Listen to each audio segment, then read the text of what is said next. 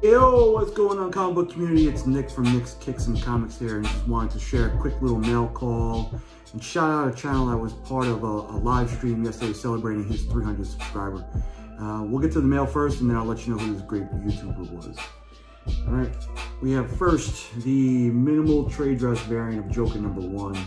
Uh, ton of great covers for this. I think this one might be my favorite. This one and the Frank Quitely one is, is pretty awesome to me. But I picked that up from 616 Comics, and they're a great shop. I'm part of uh, their Patreon as well. Just great customer service, fantastic exclusives, uh, and check them out if you get a chance. A couple CGC pickups. Have Miss Marvel number 12. Uh, this is the first appearance of the Red Dagger, who I think will be in one of the MCU, MCU movies, uh, if not the TV show. So I think this was the time to pick that up. Uh, it was a pretty big deal. Miles Morales, Spider-Man number one. This is the Adi Granov variant. Uh, I think it's the one in 25. Just a dope cover, really spoke to me. And wanted to pick this up at a good price. So. Finally picked up one of my personal grails, one of my favorite characters of all time. This is X Factor 24 first appearance of Archangel. Um, just for me, and as you can see with the Spawn, just characters with wings for me. Oh, and you also see the X-Force variant right there. Wasn't able to get the Bowen Design statue for the other one, but maybe someday.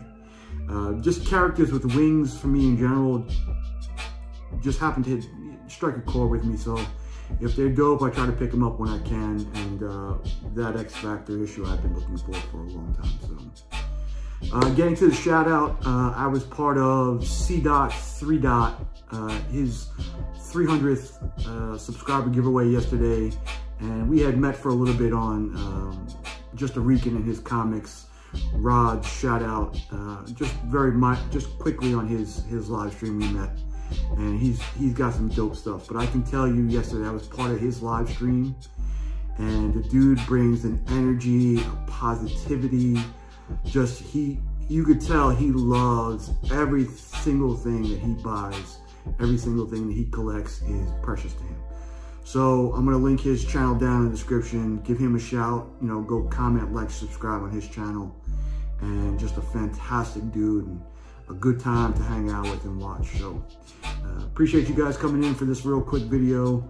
Uh, I might have some other mail stuff going on. Um, keep checking out. If you haven't subscribed to the um, other Grow Together contestants, go ahead and do that. I'll link them again in, in the description. So hope everybody's week is going well.